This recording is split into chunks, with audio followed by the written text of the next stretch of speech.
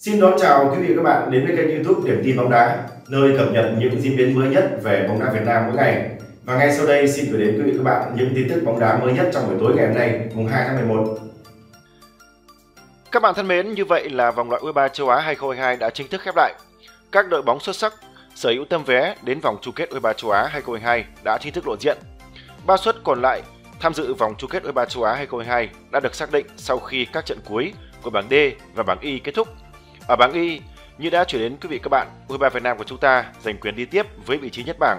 Thầy trò huấn viên Park Hang-seo có thành tích toàn thắng giữ sạch lưới sau hai trận.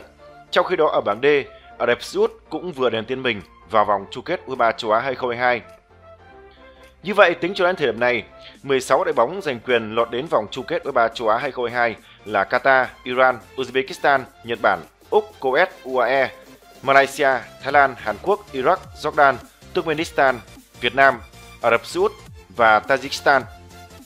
Như vậy là với kết quả thua 0-1 trước U23 Việt Nam, U23 Myanmar chính thức bị loại khỏi vòng loại U23 châu Á 2022. Quay trở lại trận đấu vừa qua giữa U23 Việt Nam và U23 Myanmar. Trên diễn đàn trôn bóng đá, các cầu thủ U23 Việt Nam của chúng ta bị chê là đá xấu xí và đánh nguội cầu thủ Myanmar. Màn trình diễn trong hiệp 1 của U23 Việt Nam bị cộng đồng chê rất nhiều, phần lớn nhận xét là đá dở và còn chưa xấu xí. Rất nhiều cổ động viên Việt Nam bày tỏ sự chán nản khi xem các cầu thủ trẻ của chúng ta thi đấu trước U23 Myanmar, đặc biệt là sự thất vọng càng lớn khi các học trò của huấn luyện viên Park Hang-seo có những pha đá xấu trước U23 Myanmar. Một cổ động viên viết: Đội võ lịch Việt Nam gặp đội banh Myanmar. Chương trình đang trực tiếp trên VTV6. Một cổ động viên khác ngao ngán than thở khi xem các cầu thủ trẻ Việt Nam thi đấu. Muốn đập TV quá nhưng là TV của mình. Đá đấm chỉ đánh người là giỏi thôi. Một ý kiến khác thì chia sẻ về các cầu thủ U23 Việt Nam như sau. Các chuyên gia cho hỏi U23 Việt Nam sao toàn thi triển võ công trước các cầu thủ ốm yếu như Que tăm của người anh em Myanmar vậy? Các bạn thân mến, màn trình diễn của các cầu thủ trẻ của chúng ta thực sự là có những thời điểm trời quá nhiệt, còn các cầu thủ thi đấu non nớt với các pha vào bóng tiểu xảo thậm chí là xấu xí. Đặc biệt là tình huống đáng chê nhất là Trần Văn Đạt số 7 nhận thẻ vàng sau tình huống thúc cùi trỏ vào mặt một cầu thủ U23 Myanmar ở phút thứ 9. Một pha bóng đánh nguội rất khó hiểu ngay bên phần sân của đối thủ. May mắn là trọng tài chỉ rút thẻ vàng cho Văn Đạt. Sau Văn Đạt thì Liễu Quang Vinh đá đối thủ nằm sân và nhận thẻ vàng ở phút thứ 22. Thêm một pha bóng xấu xí nữa của các cầu thủ trẻ của chúng ta trước U23 Myanmar.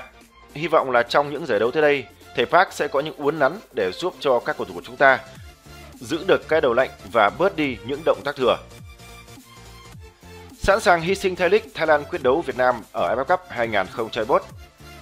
Quý vị và các bạn thân mến, sau khi vất vả giành được tấm vé dự vòng chung kết U23 châu Á, nữ trưởng đoàn của U23 Thái Lan muốn rời lịch thi đấu Thái Đích để tập trung toàn lực cho AFF Cup 2021. Sau trận hòa không bàn thắng với Malaysia, U23 Thái Lan đã may mắn nhận được tấm vé vớt lọt vào vòng chung kết U23 châu Á 2022 sau khi Lào chiến thắng trước U23 Mông Cổ. Tiến vào vòng trong với tư cách là một trong bốn đội nhì bảng, có thành tích tốt nhất là điều khiến cho những cổ động viên của bảy vơ chiến không cảm thấy hài lòng. Chia sẻ với báo chí, Madam Pang, trưởng đoàn của bóng đá U23 Thái Lan đã chỉ ra nguyên nhân khiến cho đội nhà thi đấu xa sút. Lịch thi đấu hiện tại của chúng tôi đang quá dày đặc, các cầu thủ cần có nhiều thời gian hơn để tập trung cho đội tuyển.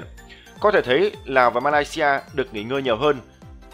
Rõ ràng, việc Thái League vẫn đang diễn ra hết sức căng thẳng khiến cho các cầu thủ trẻ, các cầu thủ của Thái Lan phải cày ải liên tục và không có được thể trạng tốt nhất trước khi bước đến vòng loại U23 châu Á 2022. Để tránh cho đội tuyển quốc gia Thái Lan đi vào vết xe đổ của đội U23, vị chủ tịch mong muốn là giải Thái League sẽ hoãn vòng đấu cuối cùng của lượt đi sang năm 2022. Hiện tại thì Madame Pang cũng đang chuẩn bị vận động các câu lạc bộ đồng ý với phương án tổ chức này. Nếu thành công, thầy trò ông Mano Polking có thêm một tuần nữa để chuẩn bị cho AFF Cup.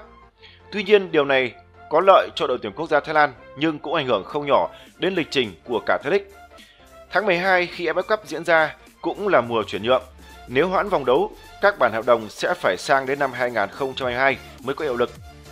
Ở giải vô địch Đông Nam Á diễn ra vào cuối năm nay, Thái Lan vẫn đang là đội tuyển giàu thành tích nhất với 5 lần vô địch. Thế nhưng ở kỳ AFF Cup gần nhất là năm 2018, bảy vai chiến lại bất ngờ dừng bước ngay ở bán kết trước Malaysia và không thể tạo nên trận chung kết trong mơ với tuyển Việt Nam. Sẵn sàng hy sinh theo lịch, rõ ràng tuyển Thái Lan năm nay rất muốn đòi lại chức vô địch Đông Nam Á từ tay thầy trò huấn luyện viên Park Seo.